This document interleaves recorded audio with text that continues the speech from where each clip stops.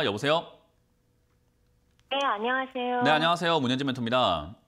네, 새해 복 많이 받으세요. 아, 네, 새해 복 많이 받으시고요. 어떤 게 궁금하세요? 힐라 홀딩스고요. 네. 33,500원이요. 음, 33,500원. 500원에 10%. 예, 예. 어, 이건 잘 샀네요. 아, 전번에 한번 음. 상담 받았는데요. 네. 전문가님이 4만 원 정도에 매도하라고 그랬는데 어떻게 해야 돼? 그리고 힐러홀딩스와 같은 이런 뭐- 뭐 의복 이런 것들, 의류 의류 이런 쪽들이 사람들이 소비가 막 증가된다라는 걸 잘 모르기 때문에 이런 게 올라간다는 생각을 잘 못 해요. 네, 네. 그래서 이것도 지금 바닥을 잡고 충분히 올라갈 수 있는 자리였던 거고, 어, 저는 이게 올라올 거라고 보여진 거죠. 근데 저때 올라온다고 했을 때 유- 유튜브 채팅창이 난리 났어요. 무슨 힐러홀딩스가 올라오냐, 말도 안 되는 소리 하지 마라 이런 이야기를 많이 했는데, 뭐 이제 그런 분들 쏙 사라졌겠죠. 그죠? 4만 원까지 올라왔으니까 네. 결국은 어, 시장은요 앞을 내다봐야 되는 거예요. 지금 당장 안 좋아 보이는 게 중요하지 않아요. 예를 들어서 서울 상암동도 옛날에 쓰레기 매립장이었어요. 그때 사놨어야 돈을 버는 거지. 지금 삐까뻔쩍할 때 사놔봐야 뭐 합니까, 그죠?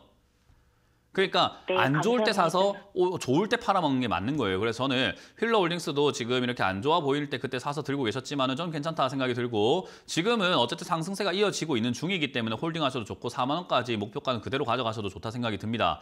어쨌든 이 4만 원까지 올라오는데 올라오지 않고 만약에 3만 7, 8천 원대에서 만약에 밀린다라고 하면은 거기서 욕심 부릴 필요는 없어요. 거기서는 비중을 한 절반 정도 매도하셔가지고 수익을 부분적으로는 분할 매도하셔가지고 챙겨야 된다 생각이 들고요. 만에 하나 떨어진다면 네네. 3만 5천 원까지 밀릴 수 있는데 저는 3만 5천 원까지 밀렸을 때는 판만큼 다시 사는 것도 좋은 방법이라 생각을 하거든요. 그래서 아, 네네. 분할 매도해서 절반 정도 덜어내고 나머지는 판만큼 다시 사자. 만약에 이게 지금 상승세가 오늘까지도 계속 양봉 올라가고 있잖아요. 시장에 비해서 좀 강한 편이죠. 그죠?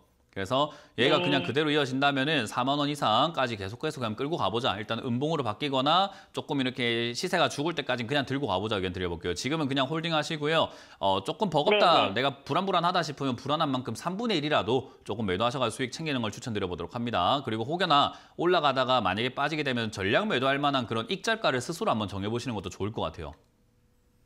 나는 아, 이거 네. 밀리면 팔래라고 하는 그런 자리를 누가 뭐라 안 하니까 10%라 시청자님이 조금 저거 정해보세요. 가져가도 되는데. 뭐라고요? 아, 10%라 조금 더 가져가도 네, 되는데. 그런 욕심이 나중에 수익도 못 챙기고 나중에 땅 치고 후회하게 만듭니다. 그래서 저는 항상 매도할 타이밍이 있으면 주저하지 말고 매도하라라는 의견을 드려보고 싶네요.